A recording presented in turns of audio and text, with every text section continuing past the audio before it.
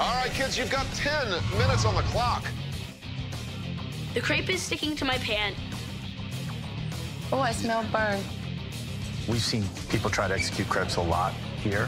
That batter needs to sit normally for about an hour to kind of rest. We've never seen a well-executed crepe. They're a challenge. And I'm thinking, take a deep breath, Mason. Everything is gonna be okay.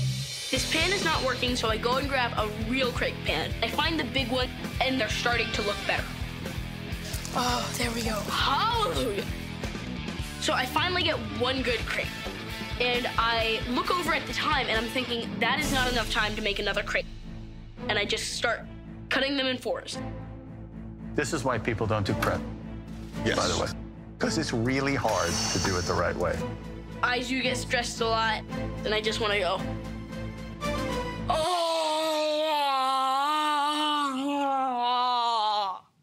That's kind of what it feels like. Oh my god. New season, Chopped Junior, premieres Tuesday, April 26th at 8.